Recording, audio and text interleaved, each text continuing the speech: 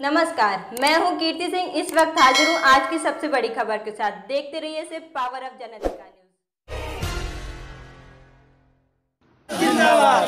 News जिला सीतापुर सांसद राजेश वर्मा एवं पूर्व प्रत्याशी महमूदाबाद के नेतृत्व में एक सौ इक्यावन विधानसभा महमूदाबाद के ब्लॉक पहला में।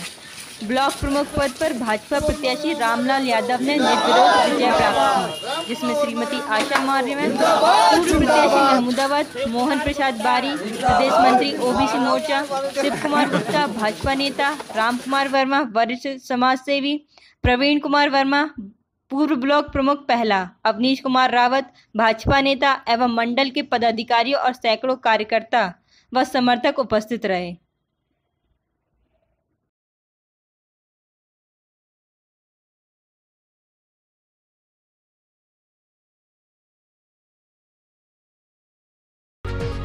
इसी तरह की खबरों को पाने के लिए देखते रहिए पावर ऑफ़ जनता का न्यूज़ और हमें दीजिए इजाज़त। नमस्कार।